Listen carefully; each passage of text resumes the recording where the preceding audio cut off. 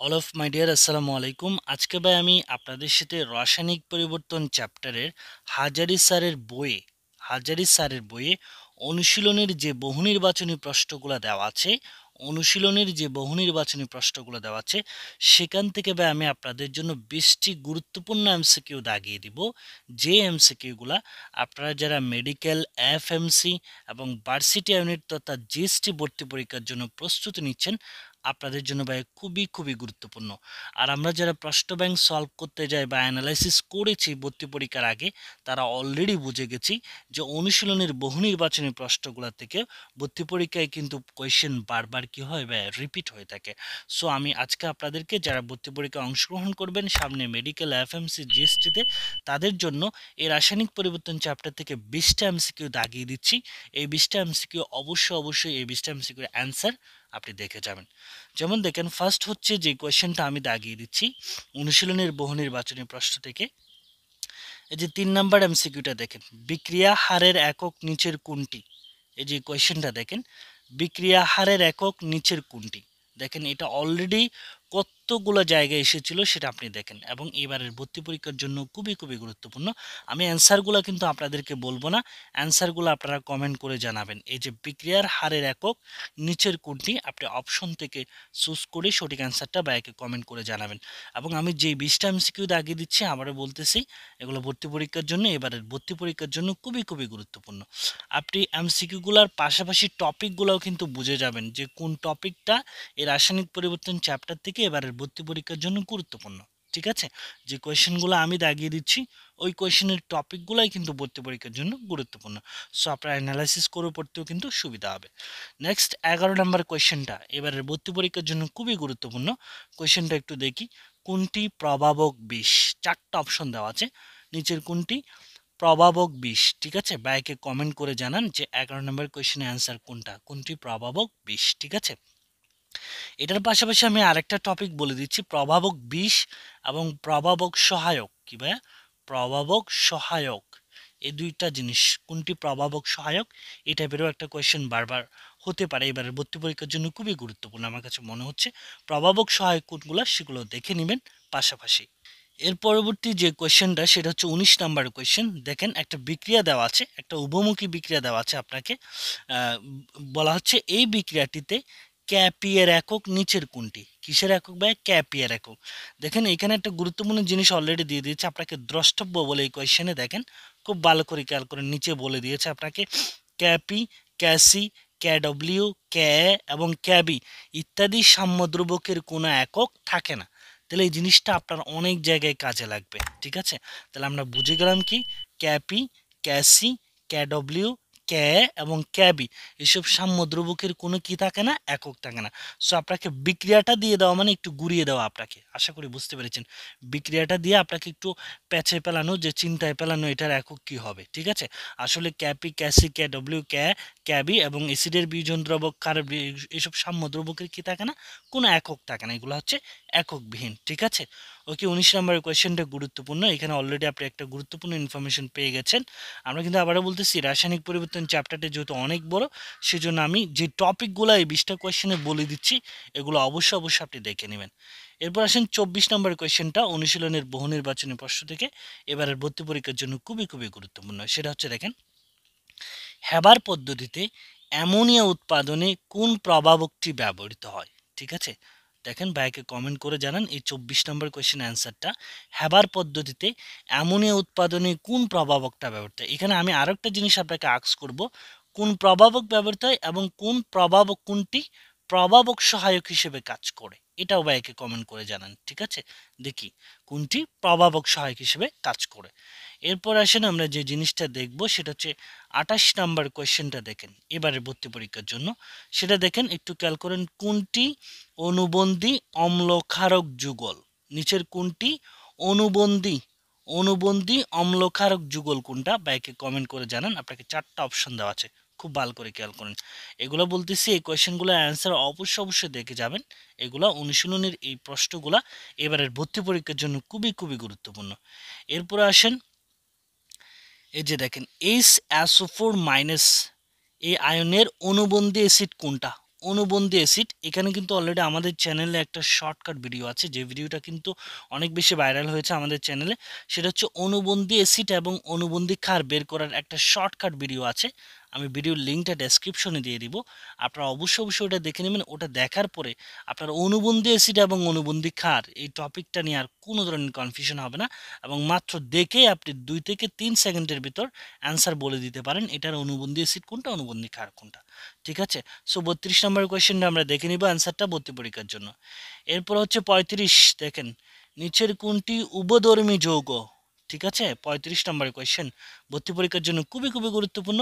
উপধর্মী যৌগ কোনটা বাইকে কমেন্ট করে বল জানিয়ে দেন। অলরেডি বলে দেন। সবাই, প্রত্যেকেই যারা ভর্তি পরীক্ষায় অংশগ্রহণ করতেছেন, সবাই কমেন্ট করে জানাবেন যে, নিচের প্রত্যেকটা কোয়েশ্চেনের অ্যান্সার আমি যে বিশটা কোয়েশ্চেন দাগিয়ে দিচ্ছি এই ভিডিওতে প্রত্যেকটা কোয়েশ্চেনের অ্যান্সার আপনারা বলবেন।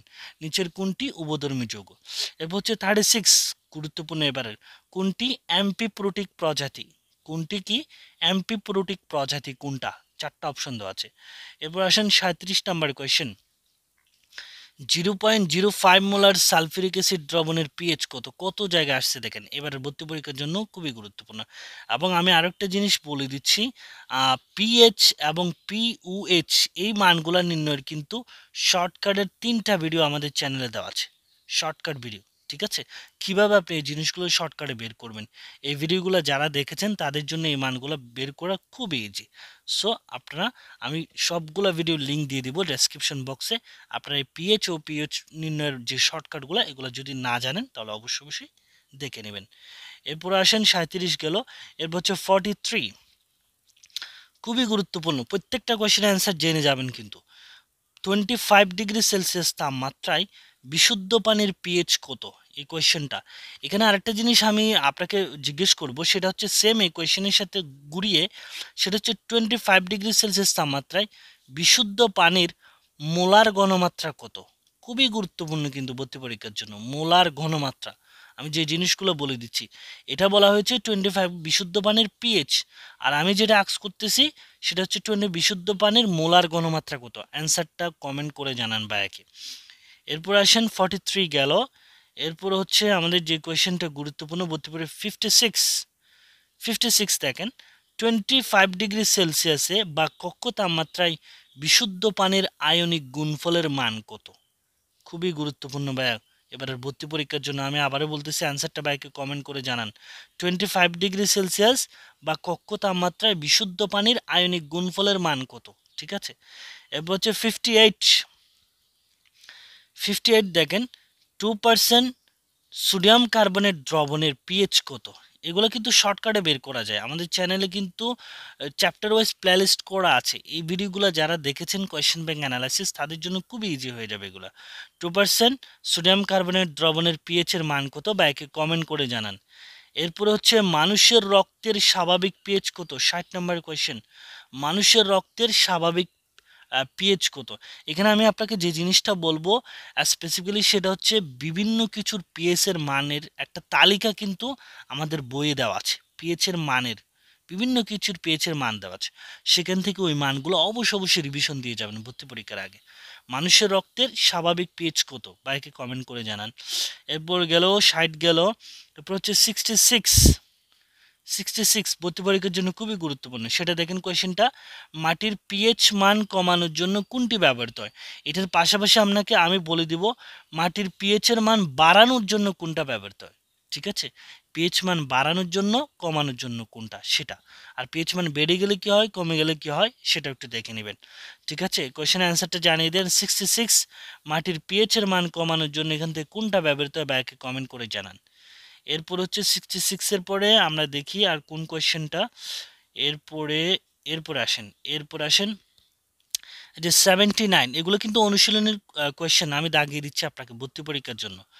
দেখেন নিচের কোন জলীয় দ্রবণটির পিএইচের মান সবচেয়ে বেশি? এই কোয়েশ্চেনটা কিন্তু ডাবিতে এসেছিল দুই হাজার সতেরোতে, দেখেন। নিচের কোন জলীয় দ্রবণটির পিএইচের মান সবচেয়ে বেশি? কমেন্ট করে জানান।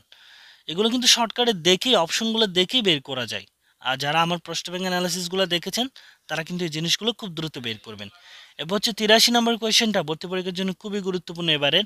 নিচের কোনটি এসসিএল অ্যাসিডের বিয়োজন ধ্রুবকের মান? টোয়েন্টি ফাইভ ডিগ্রি সেলসিয়াস বা কক্ষ তাপমাত্রায়। এখানে আমি আপনাকে বলব, আমাদের বই কিন্তু একটা চার্ট বা তালিকা দেওয়া আছে, ঠিক আছে? অ্যাসিডের বিয়োজন ধ্রুবক কে এর মানের একটা চার্ট বা তালিকা আছে, ওই তালিকাটা দেখে নেবেন স্পেশালি তাহলে আপনার এই টাইপের কোয়েশ্চেন আসলে সলভ করতে খুব ইজি হবে। দেখে নেবেন বলতে ওই মানগুলো আপনি মুখস্থ করে নেবেন ভর্তি পরীক্ষার জন্য। মুখস্থ করে নিলে খুব অল্প সময়ে অ্যান্সারটা দেখাতে পারবেন। এরপরে আসেন, তিরাশির পরে আমরা হচ্ছে নব্বই নম্বর কোয়েশ্চেনটা এবারে ভর্তি পরীক্ষার জন্য নাইনটি ওয়ান পার্সেন্ট এসসিএল দ্রবণের পিএইচের মান কত? দেখি কমেন্ট করে জানান তো। ওয়ান পার্সেন্ট এসসিএল দ্রবণের পিএইচের মান কত? এরপর হচ্ছে নাইনটি ওয়ান একানব্বই নম্বর কোয়েশ্চেনটা সোডিয়াম হাইড্রোক্সাইডের সাথে নিচের কোন অ্যাসিডটির প্রশমন তাপের মান সর্বাধিক? সবচেয়ে বেশি। সোডিয়াম হাইড্রোক্সাইডের সাথে কোন অ্যাসিডের প্রশমন তাপের মান সর্বাধিক? আমি কিন্তু আপনাদেরকে একটা সাজেশন দিয়েছিলাম রাসায়নিক পরিবর্তন চ্যাপ্টার থেকে। সেখানে আমি আপনাকে বলেছিলাম, প্রশমন তাপের মানের একটা চার্ট আছে। ওই প্রশমন তাপের মানের চার্টটা আপনি অবশ্যই অবশ্যই মুখস্থ করবেন। ওই চার্ট থেকে বিভিন্নভাবে ঘুরে ফিরে কোয়েশ্চেন হয়। যেমন এই নাইনটি ওয়ান কোয়েশ্চেনটাও কিন্তু ওই চার্টটা থেকে করা হয়েছে। যে সোডিয়াম হাইড্রোক্সাইডের সাথে নিচের কোন অ্যাসিডের প্রশমন তাপের মান সর্বাধিক। তাহলে আপনি যদি চারটা মুখস্থ থাকে ইজিলি অ্যান্সার করতে পারবেন। এরপরে দেখি আমরা আর আছে কিনা। এবার হচ্ছে নাইনটি সেভেন সাতানব্বই নম্বর কোয়েশ্চেনটা কোনটি বাফার দ্রবণ?